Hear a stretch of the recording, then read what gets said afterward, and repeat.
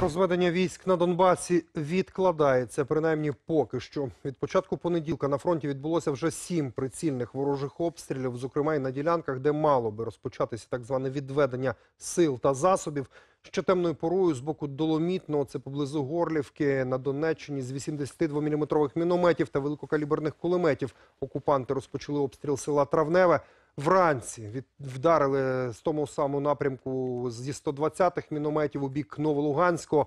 На ділянці фронту поблизу Золотого на Луганщині, де й мав би сьогодні розпочатися відвід військ. Російські найманці обстріляли українські опорники з гранатометів та великокаліберних кулеметів. Вогонь вівся з боку окупованого Первомайська, а пізніше бої точилися навколо селища Луганське на околицях Гладосово і Чермалика, що на Приазов'ї. Така ситуація заявив на брифінгу в столиці. Міністр закордонних справ України Вадим Пристайко є неприпустимою і унеможливлює початок відведення військ. Були обстріляні декілька днів тому назад. Були обстріляні і з Петрівське золоте.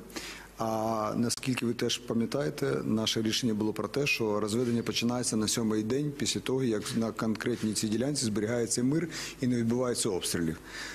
Саме тому нам тепер треба чекати, поки відбудеться наступний період в сім днів, який має довести, що сторони мають серйозні наміри і готові до подальших кроків, таким як буде розведення.